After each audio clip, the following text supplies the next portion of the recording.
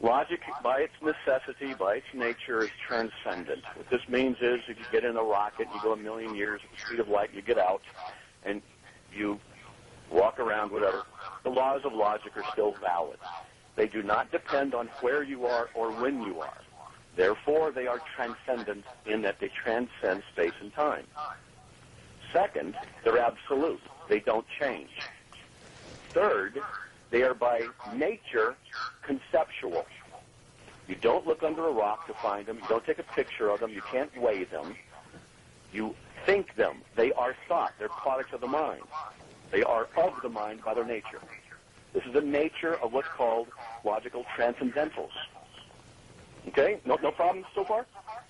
Yeah, everything you've said is consistent with the idea that, that they're models made by humans to reason about the, the universe. If Do you agree with me logic- that, that, that that's, uh, that's the, that you- everything you've said is consistent with that? No, not at all.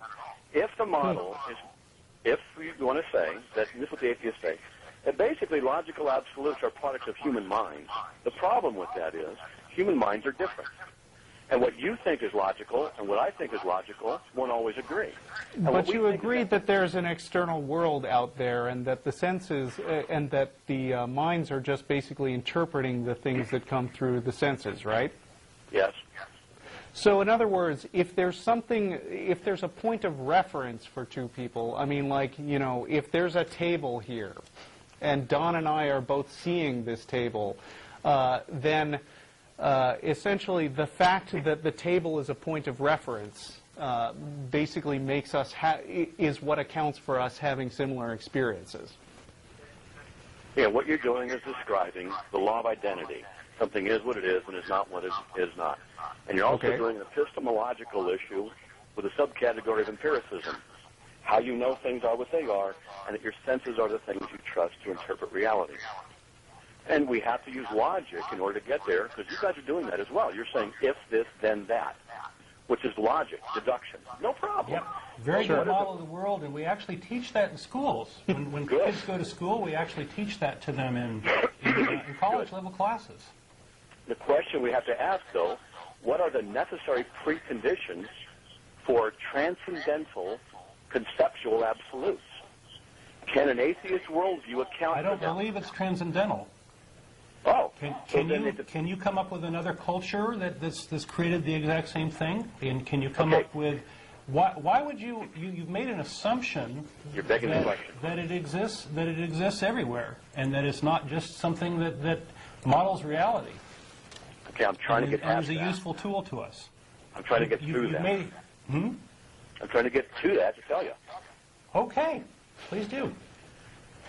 It cannot be the product of human minds, and it cannot be the product of human minds thinking as a tool. And you have to hear me out here. The thing is It's this. a product that- of the human minds interacting with Right. with the reality that we see, right? When minds are different, your mind is different than my mind.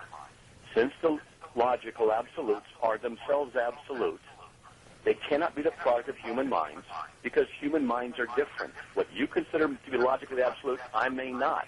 If they are the product of human minds, then they would be the product of human chemical reactions. There would be no reason to trust Right, logic. but they're, but again, they're coming from an external point of reference. Would, would you not- also say that that uh, you know a particular atom is transcendent because it's not a pro- product of the human mind? Transcendence means that something is not dependent upon space and time for its existence.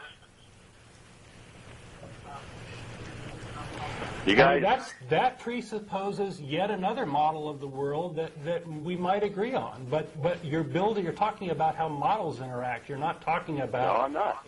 No, I'm not. You guys are. I know. I don't mean this. I know. I do not mean this disrespectfully, but you guys haven't done your homework in these areas philosophically. And I would oh suggest come on, come on!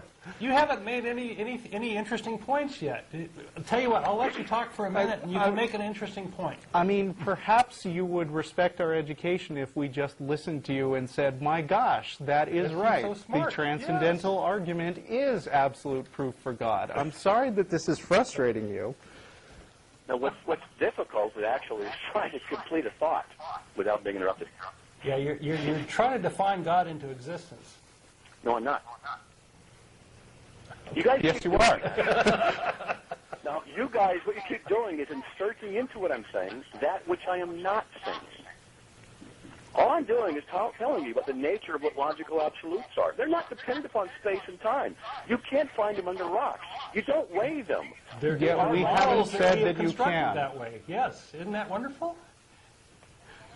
Yet they exist. All They of exist, physics don't is observer independent. Boy, it, it, it must be, it must be, you know, God must be the observer or something. I don't know. Maybe you can Therefore- find a way to put God in there.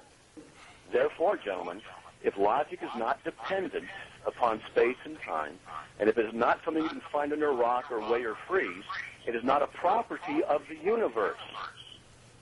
Mm-hmm. Logic is not a property of the universe. Okay. If it were a property of the universe, it could be weighed or measured the way gravity can, refraction, heat differentiation. You guys know this, right? Yeah. So mm-hmm. Okay. Now, the nature of the logical are conceptual. They are also transcendent. They require a transcendent, absolute mind to author them. Wait a minute. atheist, yes. That was an enormous leap. Where did the word mind come in? Do you ever have a concept without a mind? You have you have an external reference without a mind. You remember a minute ago, Don asked if uh, if an atom is transcendent because it's not dependent on a human mind. It exists, and things that exist are not and not dependent upon human minds for their existence can exist independently of the human mind. So it's not an issue of transcendence. Right. So, So, I, so I you, mean, you think our thoughts, the fact that we have thoughts, that means that God exists? Is that, is that I what you're saying? that. I did not say that. Well, that seems to be what you're saying. You seem to be saying that because we have concepts that exist that are not tangible, that that, that, that must be because God exists. That's not what I said at all. Okay. I'll say it again. But I'll tell you what I Because, because two or three people exist, agree on a concept. I should let you know uh, we have only three That's minutes left in the show, and while we'd love to keep talking to you, uh, uh, I'm just giving you a time warning. Okay, thank you. But that's not what I said, though. I said the logical absolutes are themselves transcendent. They are always I don't true believe it's absolute. I believe it's a model made by humans, and you would need to Can you- prove that okay, it's logic if- is an absolute, and I don't believe you've done that. Okay, if if you believe that logic is not absolute, logical absolutes are not absolute. I believe that then I'm not logic is a wonderful, useful model Gosh, created by humans and used by humans. Then I will offer you a sentence. If logic is not absolute, blue sleeps faster than Wednesday, and therefore, because you can't think linearly with going hopscotch backwards, I win the debate. I'm sorry. I didn't follow all I that. did. I'm I sorry. didn't actually hear what you said. Could you Something say that again, please? Yeah. It doesn't matter, gentlemen, because if you're going to tell me that logic is not absolute, that we have no basis of any rational discourse. If logic depends upon your mind and depends upon anybody else's mind, or it is relative in that it depends upon some other thing for its validity, then whatever changes that is a necessary precondition for its existence alters the very nature of logic itself. But you will not argue that way, and no one would ever argue that that's the case. Therefore, logic is transcended by nature and is not dependent upon nature or human mind. It is I think what we've I think what we've been for. saying along uh, saying all along is that logic is something that is descriptive and not prescriptive. I mean, We need to do essentially, another show on that. essentially, what it means is that when two people look at something and see things the same way, uh, it, it is generalized in a way that is described as logical.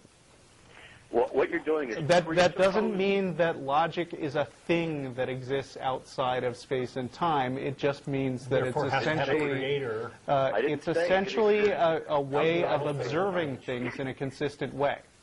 I didn't say it exists outside of space and time. I said it's not dependent upon it for its existence. Okay, let, let's get back to your mind thing, though. Where did you get to the point where you said that because it's not dependent on space and time, there must be an intelligence outside the universe? I didn't say there's an intelligence outside the universe either. Well, I mean, you said basically uh, what, I, I mean, you said that essential thing. That's where you're going with it, right? No, that's that's what you mean what by said. God, right? no, it's not what I said, and that wasn't where I was going. So you don't think God is an intelligence outside the universe? He's outside and inside.